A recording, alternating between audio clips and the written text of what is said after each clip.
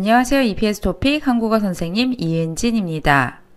오늘은 49가 고용센터를 통해 새 직장을 구했어요. 대화 2를 공부합니다.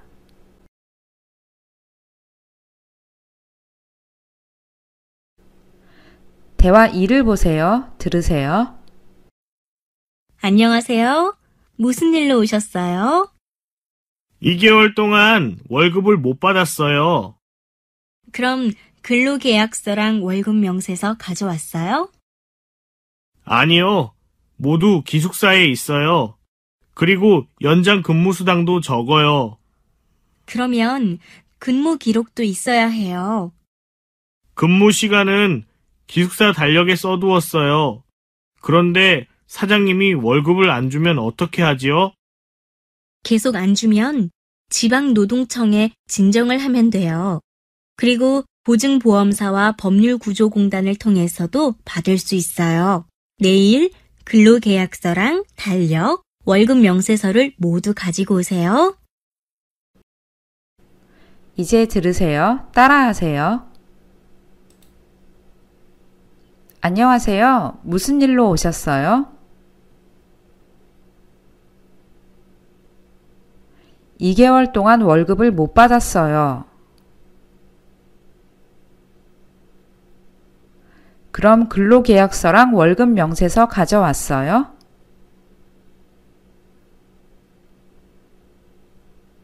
아니요, 모두 기숙사에 있어요.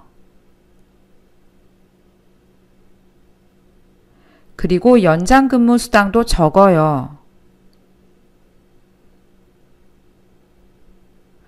그러면 근무 기록도 있어야 해요.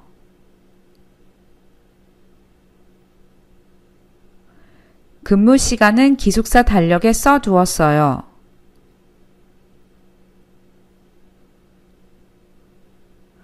그런데 사장님이 월급을 안 주면 어떻게 하지요?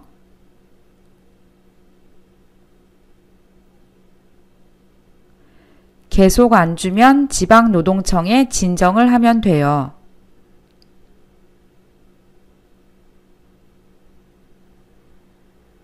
그리고 보증보험사와 법률구조공단을 통해서도 받을 수 있어요.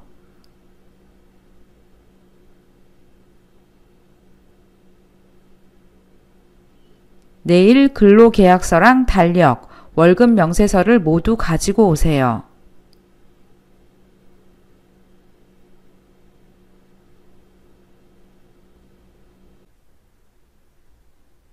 이제 대화 2의 의미를 봅시다. 대화 2는 상담사와 인디카 씨가 얘기하고 있죠. 상담사는 상담하는 사람, 카운셀러, 컨설턴트예요. 여섯 번째 줄에 보면 상담사가 그러면 근무 기록도 있어야 해요 라고 말했어요. 근무 기록은 근무한 것을 쓴 것, service record예요. 그 다음에 근무 시간은 기숙사 달력에 써 두었어요. 그런데 사장님이 월급을 안 주면 어떻게 하지요? 에서 달력은 calendar예요. 어떻게 하지요는 문법 수업 시간에도 공부할 텐데 What should I do? What will I do? 라는 의미예요. 그 다음에 계속 안 주면 지방노동청에 진정을 하면 돼요. 그리고 보증보험사와 법률구조공단을 통해서도 받을 수 있어요. 내일 근로계약서랑 달력, 월급 명세서를 모두 가지고 오세요. 에서 계속은 뭐예요? 네, continuously. 진정을 하다는 to make a representation, to petition으로 문제를 써서 public organization에 신고하는 거예요. 지방노동청, 보증보험사, 법률구조공단은 모두 organization이에요. 법률구조공단을 통해서도는 문법 수업 시간에도 공부할 텐데 통해서는 through라는 의미가 있어요. 그럼 오늘 수업은 여기까지 할게요. 다음 시간에는 대화 2의 문법을 공부합니다. 그럼 다음 시간에 또 만나요. 안녕히 계세요.